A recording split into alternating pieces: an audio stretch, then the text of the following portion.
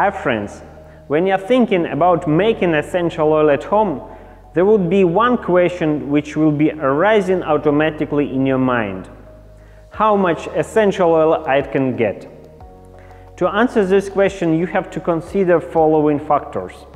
The most important one is the average content of essential oil in chosen variety of raw material.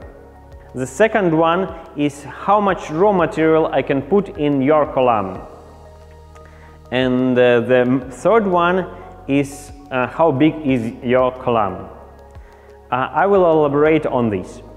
So uh, there are raw materials which have really high content of essential oil, up to 35%. This means you can get up to 350 milliliters of essential oil uh, from this given uh, chosen uh, variety. And uh, are other ones which have extremely low content of essential oil.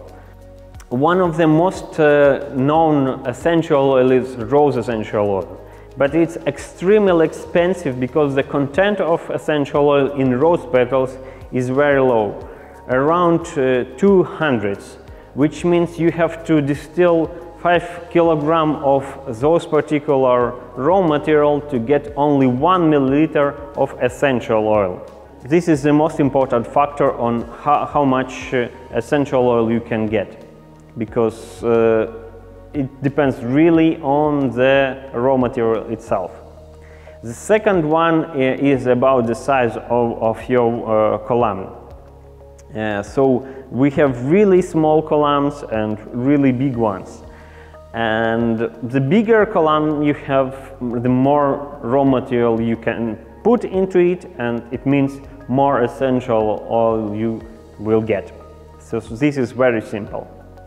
And uh, the, the other side of this question is uh, how much essential oil I can put into column.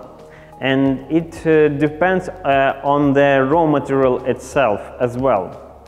Because some raw materials are really spacey, taking a lot of space, like uh, eucalyptus uh, dry leaves, uh, and uh, some other materials like uh, ros dry rosemary, uh, taking much less space, so you can get you can put more raw material into one column.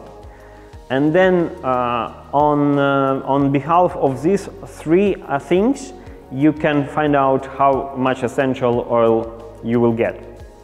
But this is more theoretical. You have to really practice and, and get your raw material and do distillation to find out what is uh, the real yield.